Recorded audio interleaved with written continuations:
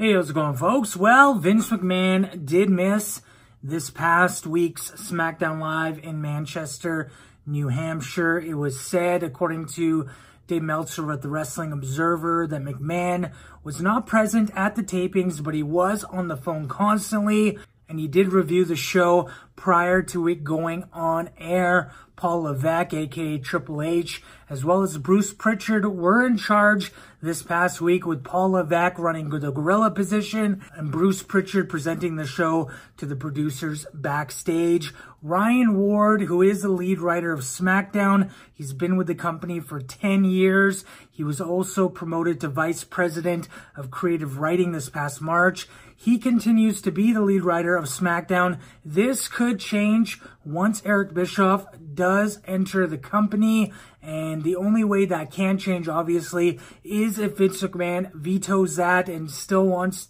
Ryan Ward to continue to be the lead writer. Eric Bischoff is going to start with the company next Tuesday on SmackDown. Yesterday, he left his home and he began his journey to Stamford, Connecticut, where he and his family will now live.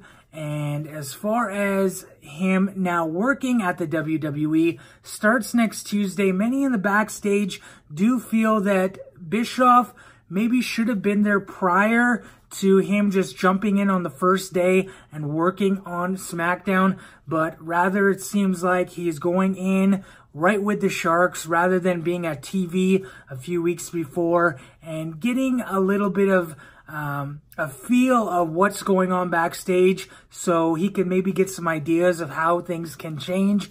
As now that he's jumping in right when it starts, it's still going to take weeks upon weeks for him to come up with ideas of how things could change, and that is the feeling backstage.